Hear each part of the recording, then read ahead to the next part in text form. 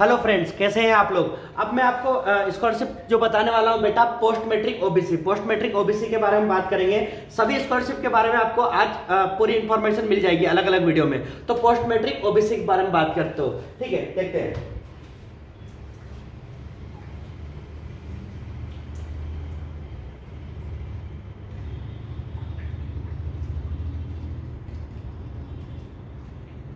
जन कल्याण बता चुके बेटा मेधावी आपको बता दी है। अब बात कर रहे हैं अपन पोस्ट मैट्रिक ओबीसी और इसके बाद बात करेंगे पोस्ट मैट्रिक एससी और एसटी सभी के बेटा तीनों या पा, पाँचों स्कॉलरशिप जो होती बेटा इनके जो आपको वीडियो होंगे वो सेपरेट मिल जाएँगे। ठीक है? फ़ीस चार्ट आपको हर वीडियो में दिखाते हैं। इस वीडियो में भी आप देख लीजिए बेटा फ़ीस चार्ट जो है गवर्नमेंट मेडिकल कॉलेज का।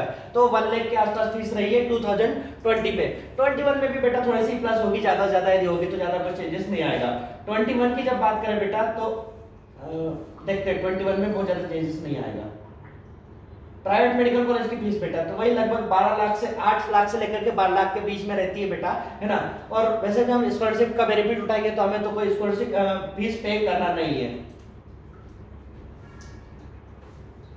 पोस्ट मैट्रिक ओबीसी ठीक है? तो हम बात करेंगे बेटा post matric OBC post matric जो स्कॉलरशिप स्कीम होती है बेटा, इसमें जो परसेंटेज का बाउंडेशन खत्म हो जाता है। ट्वेल्थ में हमारा जो परसेंटेज है, वो कितने परसेंटेज कोई मायने नहीं रखता है? सिर्फ़ ट्वेल्थ के परसेंटेज इतने मायने रखते हैं बेटा कि हम एग्ज़ाम में पार्टिसिपेट करें। जैसे कि जनरल कैटेगरी की बात करें तो अब जनरल कैटेगरी के लिए 50 परसेंट की ज़रूरत पड़ती है। पर पोस्ट मैट्रिक ओबीसी कैटेगरी बात करते हैं जनरल का तो होगा ही नहीं। तो S C S T OBC को बेटा नीट में फॉर्म फिलअप करने के लिए हमें 40 परसेंट जो है क्वालिफाइंग मार्क्स की ज़रूरत पड़ती है। तो कम से कम यदि मार्क्स की बात करें तो ओबीसी के लिए हमें ट्वेल्थ में चाहे सीबीएसई हो आईसीएसई हो या एमपी बोर्ड हो, कितने मार्क्स चाहिए? 40 परसेंट मार्क्स चाहिए। इसके अलावा जो है इनकम लिमिट कितनी होती है, वो देखते हैं।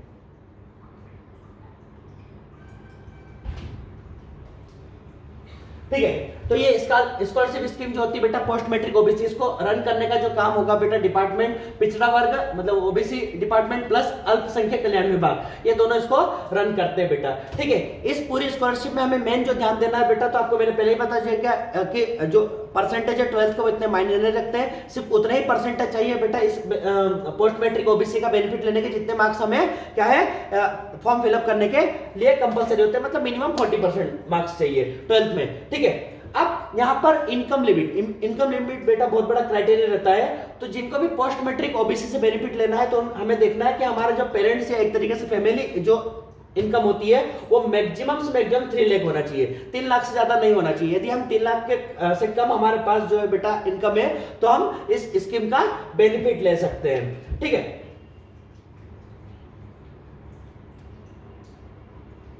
इसके साथ साथ बेटा क्या है कि कुछ पोस्ट मैट्रिक स्कॉलरशिप में उन्होंने कुछ चेंजेस किए हैं और कुछ एडिशनल बेनिफिट दिए हैं बेटा कि यदि आप छात्रावासी या गैर छात्रावासी मतलब कि इसके अलावा कुछ हॉस्टल वगैरह मेस वगैरह जो होता है उसका भी आपको एडिशनल बेनिफिट दिया जाता है किसमें? पोस्ट मैट्रिक में। यदि आप हॉस्टल के अंदर रहते हैं तो वहाँ पर आठ सौ पचास पर मंथ आपको एडिशनल अमाउंट मिलता है और यदि हम बाहर रहते हैं तो थ्री एटी रुपीज़ का समथिंग जो है ए, आ, पर मंथ जो है इसका हमें बेनिफिट मिलता है ठीक है?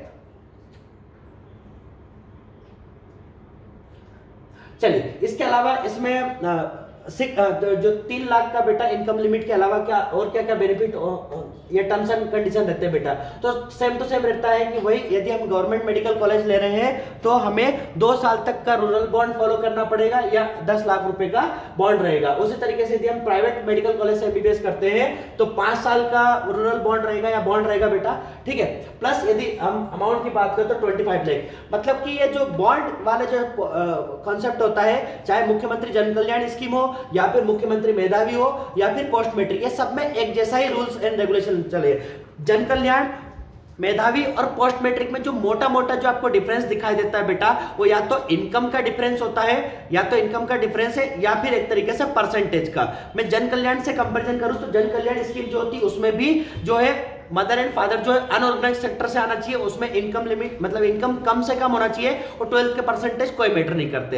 यदि मुख्यमंत्री मेधावी की बात करें तो वो भी सभी कैटेगरी के लिए रहती है। उसमें पेरेंट्स की मैक्सिमम इनकम सिक्स लाख होना चाहिए और ट्वेल्थ में परसेंटेज एमपी बोर्ड की बात करें तो seventy percent and CBSE ICSE की बात करें तो एट्टी फाइव परसेंट या उससे ज़्यादा होना चाहिए, ठीक है? बाकी बॉन्ड की बात करें तो वही गवर्नमेंट कॉलेज के लिए दो साल गाँव में काम करना पड़ेगा प्लस दस लाख का बॉन्ड है और प्राइवेट कॉलेज यदि आप लेते हैं तो पाँच साल का बॉन्ड रहेगा, पाँच साल का गाँव में काम करने का बॉन्ड रहेगा, प्लस पच्चीस लाख का बॉन्ड रहता है, ठीक है? तो बाकी जो एडिशनल जो हमें बॉन्ड है या कॉन्ट्रैक्ट होता है, वो तो लगभग सभी स्कॉलरशिप स्कीम में सेम होता है ओबीसी में भी सेम रहेगा, ठीक है? नेक्स्ट देखते हैं।